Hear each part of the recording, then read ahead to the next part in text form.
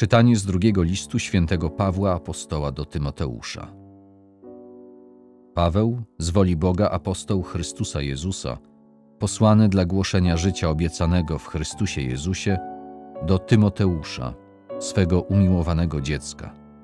Łaska, miłosierdzie, pokój od Boga Ojca i Chrystusa Jezusa, naszego Pana.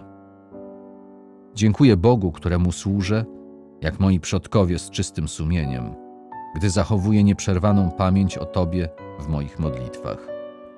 W nocy i we dnie pragnę Cię zobaczyć, pomny na Twoje łzy, by napełniła mnie radość na wspomnienie wiary bez obłudy, jaka jest w Tobie.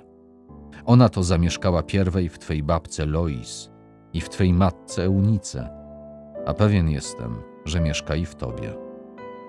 Z tej właśnie przyczyny przypominam Ci, abyś rozpalił na nowo charyzmat Boży, który jest w Tobie przez włożenie moich rąk. Albowiem nie dał nam Bóg ducha bojaźni, ale mocy i miłości i trzeźwego myślenia.